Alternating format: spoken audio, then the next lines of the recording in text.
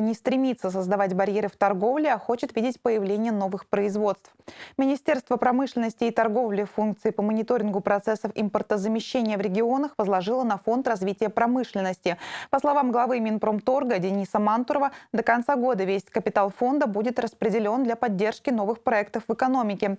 Ожидается, что проекты начнут давать отдачу в ближайшие 2-3 года. Планируемый совокупный объем выпускаемой продукции по одобренным только проектам должен быть к 2020 году почти 400 миллиардов рублей, а объем налоговых отчислений около 30 миллиардов. Их реализация позволит создать более 7 тысяч высокопроизводительных рабочих мест.